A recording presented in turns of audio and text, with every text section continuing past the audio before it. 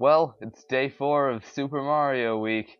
Oh, every episode, I'm gonna say day four. It's day six. Like, why? Like, even since I said day four yesterday, you would think I would mess it up and say day five today. No. Um, we're playing?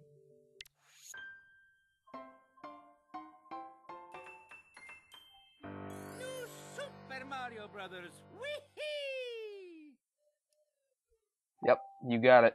New Super Mario Bros. Wii. We kind of established uh, what New Super Mario Bros. U is, and that's a style in um Super Mario Maker. They're basically the same game, but with different power-ups. But the power-up, the main power-up included in Mario Maker, is from this game, not actually U, even though it's also in U. But yeah, so let's do this. Uh, this is gonna take a while.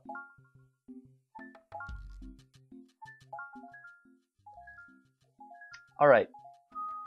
So this episode's gonna be quite the long one. I thought last episode was long. Oh boy. So I'm like, hey, I have an idea. Let's do the entire first world. I have another idea. Let's include New Super Mario Bros. Wii and U.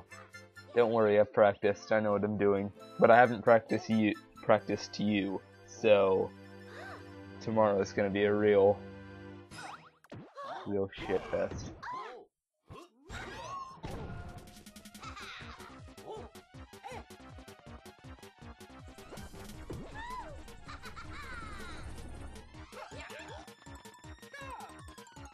You know what? You know what? Um, Mario Maker could have benefited from secondary power-ups.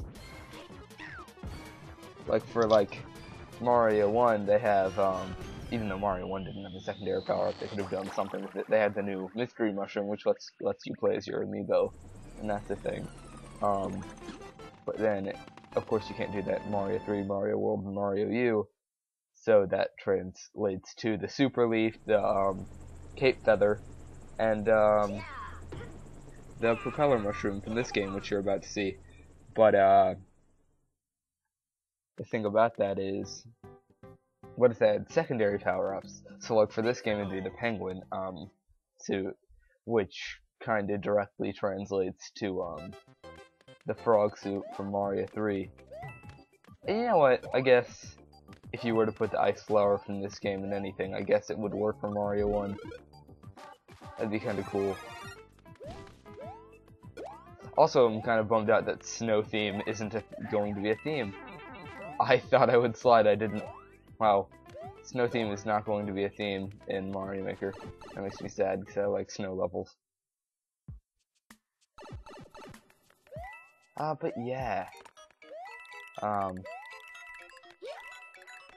this game reintroduces one of the best Mario mechanics that you'll see in a few levels. Um, yes, he's actually a mechanic. Um, it's a person. I mean, it is a person who's not actually like a human, but he's not a mechanic. That's the joke was he was a mechanic, but he's not. And I just realized, unless I can.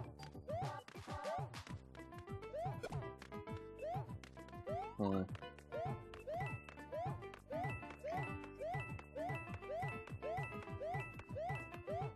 Probably could have ground pounded that to get a mushroom. But who knows? Oh wait, no, I forgot this was a thing. Now you do have to collect it.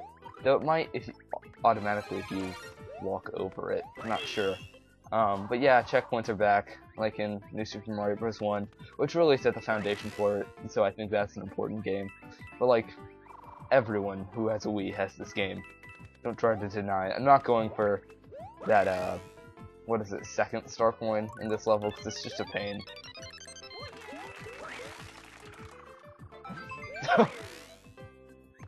But yeah, this is the propeller mushroom, and uh, this is what it does. Even though I feel like the um, acorn mushroom from um, New Super Mario Bros. U is more directly related to uh, Mario 3's Super Leaf and Mario World's Cape Feather, uh, this is much better. Because first off, you can actually go higher with this, unlike with a freaking acorn mushroom. So yeah.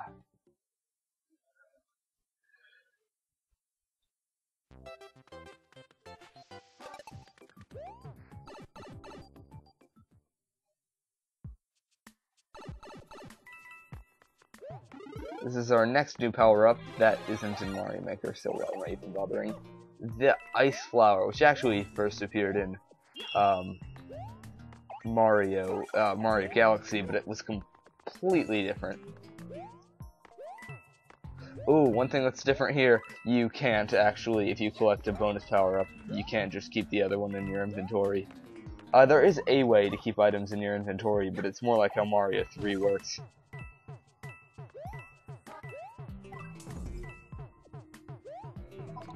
Unless how this works. If you can hear those um, low quality sounds coming from the, my microphone, not the game itself, um, the Wii remote actually makes sounds. How you play is you hold it sideways, that's odd. You know, let's just not. Of course I did that.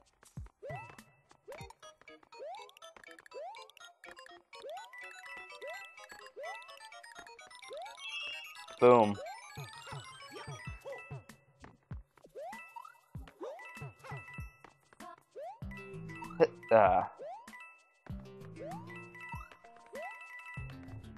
What I think of it? Could I?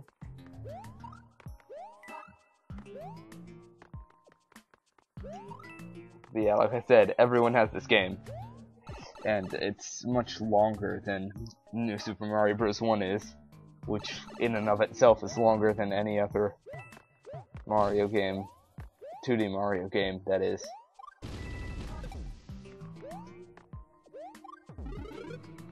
Though I guess if you're being a completionist, then Mario World is pretty long. Yeah, I did it. But probably doesn't even matter now. yeah, um, the standard stuff like the um, Fire Flower, it's back. You see that uh, star coin there. Oh yeah, the star coins are back. So they're from uh, New Super Mario Bros. 1. So yeah, like I said, set the foundation. Though people, when they say New Super Mario Bros., tend to be referring to this game, not the DS version, which kind of makes me bad mad because the DS version is superior.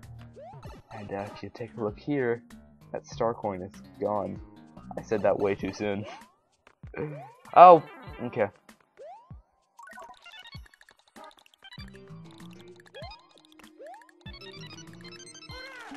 Uh, there's also a secret exit here.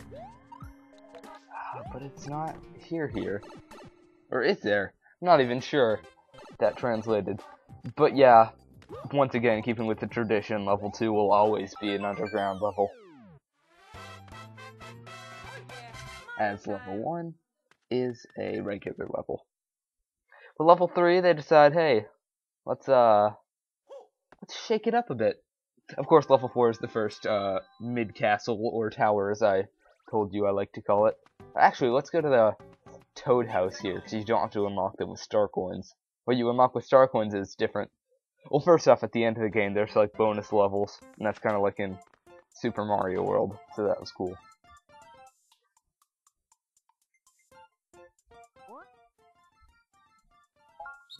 So yeah, this is like how it was in um New Super Mario Bros. 1. And also, there was something like this in, um, see Fire Flower, uh, Mario 3. But yeah, they're used to unlock, like, bonus little clips you can watch to see how to do good in, uh, whoops, how to do good in some levels.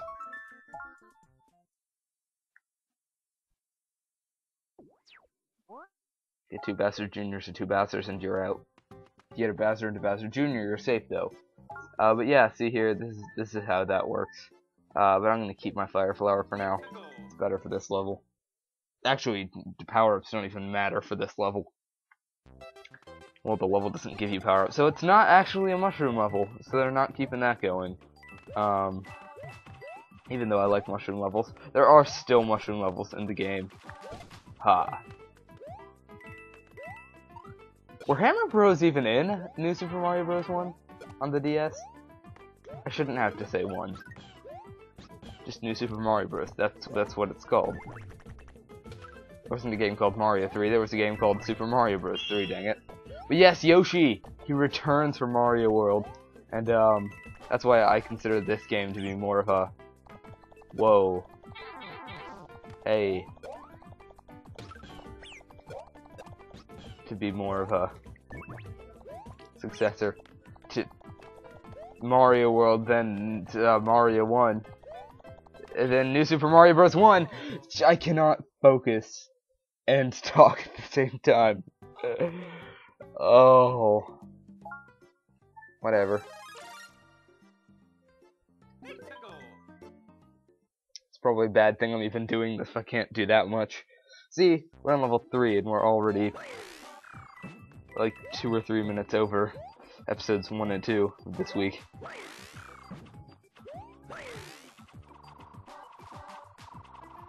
But yeah, spinning uh, kinda returns from um, Mario World, but it doesn't work at all in the same way. That's how I broke those blocks that one time. Okay. Strings are coming off. I swear I don't suck at this, guys. I'm just kind of trying to speedrun it, which is not exactly what I should be doing. But yeah, it has many mecha Yoshi mechanics from um, Super Mario World. And I don't think they give you another Yoshi here. They also don't give you a power-up, so that's cool. And uh, there's a secret down here. Yay! You think that yellow pipe is connected, but it's not. And this reminds me a lot of our room in um, Mario World. I just realized. Huh. Not coincidentally, that room did have a dragon coin in it, and that's the room I used to access the thing. Um, actually, I should show this off. Look at this dandy secret. That's gonna take me ahead, and I don't want to be ahead, so I'm not doing that.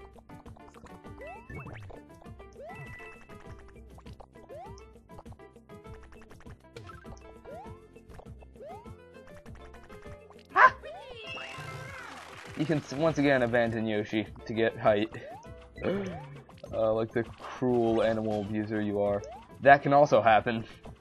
Not sure if that can happen in Mario World. But, um, see, I could have abandoned Yoshi to get to the top of the flagpole, but no. One difference, though. You can't keep Yoshi. You cannot keep Yoshi after one level. He's intended for certain levels, not others.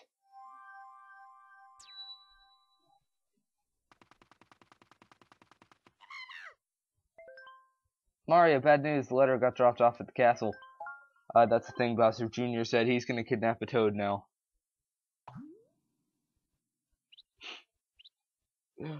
I've just done so many of these videos this week. I only have this one and tomorrow's left. And tomorrow's, I barely have to explain anything, so I'm gonna be extra tired. And given that I'm probably gonna explain it today. So when that happens with Toad and all that, what you gotta do is go back and uh, save him. And you know what? Why not? That's a different tune. It's kind of cool. No, it's not. Never mind. Take it back. Yeah, if memory serves, Toad will be in one of the blocks. It's this one. And that's how you spin, but here it's here. So you can't actually see. You can't uh, glide with him on. So Toad can take one hit. No, he can take two hits, I mean. You can't slide with Toad. So he's scoring all the points here. yeah, and if you keep Toad to the end, depending on if he's shrunken or if he's full-sized, then you'll get different rewards. And if he dies, well, what do you think you get? Well, it's hard to get something from someone who's dead.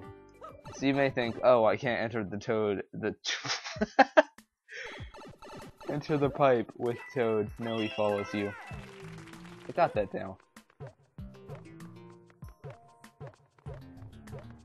What the? Oh yeah. I just said you can't enter the pipe with the toad. And then what do I do? I try to enter the pipe with Toad. Toad, you are being a real hassle. Yeah, usually when you're going for 100% you end up waiting on that and it moves super slowly, so don't. And I actually got that. You don't get extra points for Toad hitting the flagpole. This game also, was it the first? It was probably the first Mario game at least. Besides, ooh, besides spin-offs, that was dumb. Well, spin-offs are competitive, not co-op. The first game to have four-player co-op. Up to four players, that is. In Super Mario Bros. 1, I didn't explain this, but on the DS, it had um, local multiplayer, where you could just um, one of you you's Mario, one of you's Luigi, and you and you fight against each other to get um, stars, much like in um, Super Mario 64 or something of that. Oh yeah, I forgot. Something of that matter. And you can see here something. It said no, there's no co-op. Um, you can totally remote there. There are certain cheats you can do to play as uh, Luigi, but not all of them are completely accurate. Single player, that is. Single player here, you can't. Um, whoops, oh, we should have kept the other one. You can't uh, play as anyone but Mario. Wow almost double the first episode, and we are not even halfway done. Oh, we're almost the length of last episode, and we're not even halfway done. It's funny because even if you didn't get like bonus secret stuff um, in this first world, oh, is this the longest first world up to this point? Probably. Um,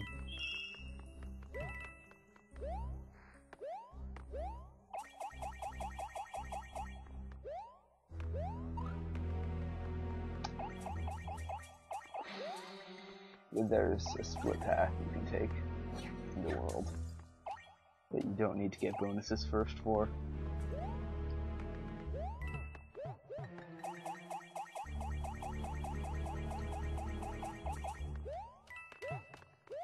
And once you've played a game a certain number of times, you just get like, why am I doing this again? Maybe I'll, eventually I'll probably do a let's play where I 100% this game. Believe me, it's it'll be much less tedious than my upcoming, which probably isn't like soon upcoming, um, Super Mario World Let's Play. Don't even get me started on that. That's gonna be pain. Like the definition of pain. Actually, I don't even think I've finished in my own time.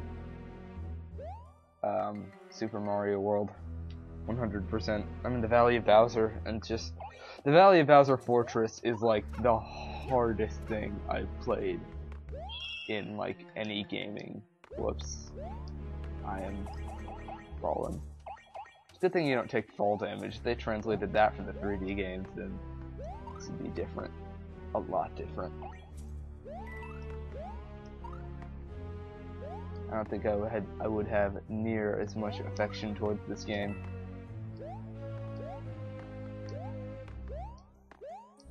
It's strange how just one game mechanic could change everything. Like, oh, the game's um, controls are delayed. That could destroy it. Really, I don't hate the game uh, Sonic Boom Rise of Lyric, but what killed it for me was um, how boring it is. The hub worlds are empty, the story is cliche and uninteresting and there's like no character development or anything at all of that matter. And um, yeah, if you feel like everyone nowadays is hating on Sonic Boom, I agree that he gets way more hate than it deserves. But I'm not saying it deserves praise in the least bit. People just assume if anyone doesn't hate the game that they're quote unquote um, Jesus the lives defending it, and that's just like, well, I'm just saying that you're over exaggerating, you little idiot. You can't um, Jesus. As you saw earlier, the Koopalings have returned, for, and uh, they have not appeared since Mario World, and they replaced Bowser Jr. here. Um, Bowser Jr. is still in the game in another manner, which makes you question um, how Koopa's sexuality worked. Um, but uh, there's also no no longer original bosses. They're just uh, Koopalings the second time. So some yeah some people may think that there's that the spin attack, the spin move, comes from um. First off, it works differently, so you can't like bounce off like buzzsaws and all that. Um, I think it comes from Mario Galaxy. I mean, even I did at some point. Even in the version in Smash Bros. Brawl that Luigi and Mario can do, um, I thought that came from Mario Galaxy, but no, it comes from uh, it was actually in uh, both previous Smash Bros. games before that. So yes, you can also quick save. That's a thing. Games before that, so of course it wasn't. So you'd think, oh, did Smash Bros. come up with that itself? Um, no. It's from Mario World. Yeah, that ice flower cannot damage the Koopalings. So yeah. I say the Koopalings instead of bosses because they are the only bosses besides the occasional Bowser Jr. fight, um, the one Kamek fight, and uh, the Bowser fight. In addition to the giant Bowser fight, which really isn't much of a fight, but it's one of the coolest uh, final bosses. This is game's version, of course, in like any games I've played recently. I think in there's a fire flower, so I'm kind of doing myself a disservice by not getting that. But yeah, water levels, man. There's a bonus water level that I didn't do in World 1 of uh, Super Mario Bros. 1, but uh, that's why I didn't do it, because it was bonus. And I might not have even had enough star coins. Speaking of, it's not worth getting that one. It's easy how, but...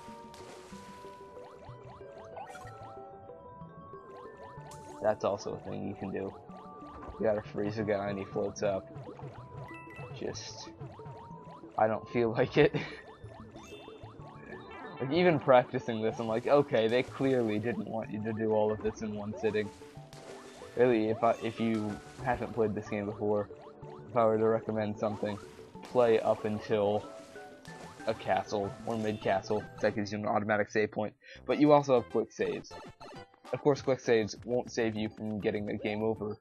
Then you have to start from back from uh, the mid castle or castle. But um, yeah, you can quick save if you're just that bored and you want to stop playing. Which too much of a good thing can be bad. So once again, this game's fantastic. This is the thing. You could avoid him, but nah.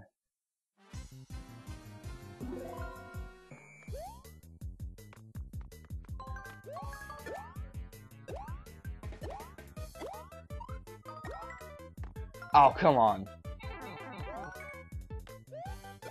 Actually, you don't actually have to kill any of them. If I killed none of them, I would have gotten a 1-up. I was trying to get a 1-up, but I failed. I'm doing a combo and all that. Mushrooms. That you'll probably have the most of, because you did so dang many of these.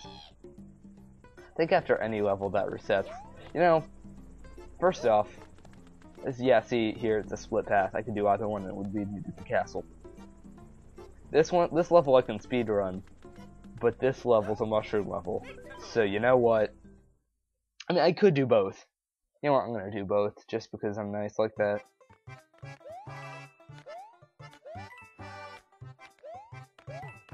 Yeah, there's just a certain level of doneness you get after a while. I meant to give myself a mushroom before I started this.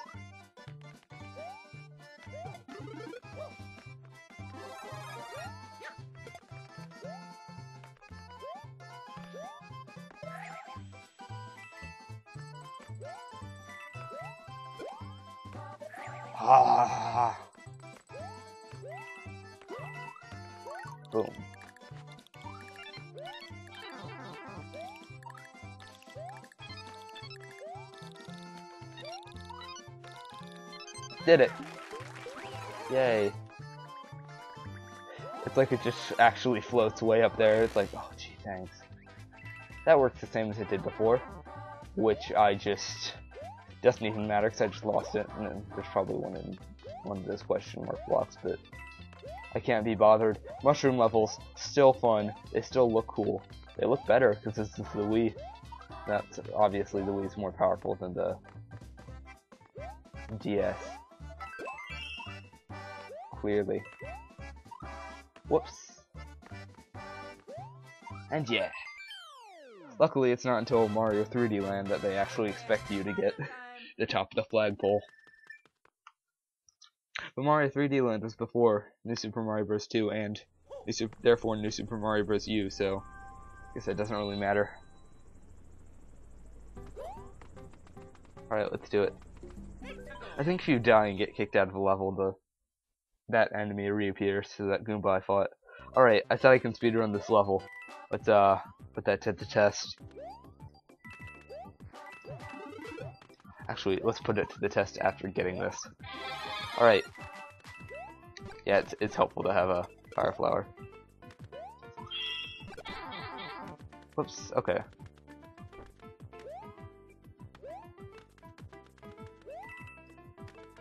I've done a better job before, but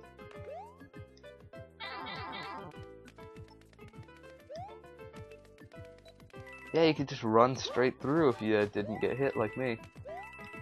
And hey, look at that. See, that didn't take too long. When I was practicing, I died a lot, so be lucky. You don't have to see that. It's not pretty. And you see that airship there? Well, that doesn't mean we're going on an airship. It means all the Koopalings have their own airship. Wait, no. That's in New Super Mario Bros. U. My apologies. Oh yeah, I mentioned New Super Mario Bros. 2. That game's stupid and doesn't matter. I don't consider it a bad game, but I didn't see the point of it when once I got to, like, a certain point, which was in the middle of World 2, so that probably wasn't a good thing. It's just not something that I could binge play like this, or New Super Mario Bros. 1, or even New Super Mario Bros. U for that matter, even though 2 came out before U, but I played it after, because I got a Wii U before a 3DS.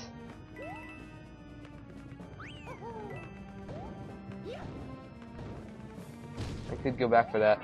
That was a horrible mistake.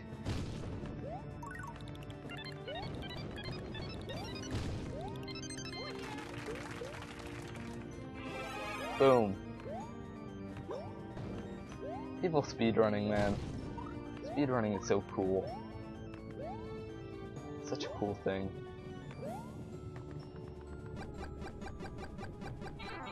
Oh, come on. That's also a secret down there that I choose not to get. Ha. Whoops. Ha. Ha? Ha? Okay. So there's nothing. So no fire flower for me. You can still kill him like I did to Bowser Jr. last episode. The Koopalings won't be in um, Super Mario Maker. It's just uh, Bowser Jr. Not sure about Magic Magikoopas and Kamek. No, I think at least Magic Magikoopas will be. Yeah, I'm positive. But not sure about Kamek specifically. Yeah, Magic Magikoopas will help with my whole Mario World recreation project. Just honestly switch between two platforms. And then catch him in midair. Oh.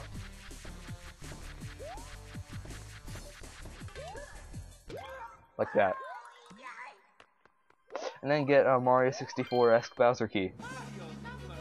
And see a cool little cutscene.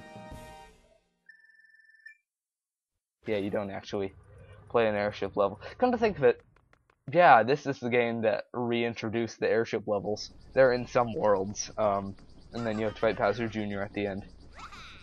But not all of them. Like here, some sometimes instead of ending the world, they'll send you to another level, which is an airship level, and that's kind of cool. Also, in New Super Mario Bros. U and other bosses, for some reason, Mega Sledge Bro or Sumo Bro or whatever, and uh, that's just dumb.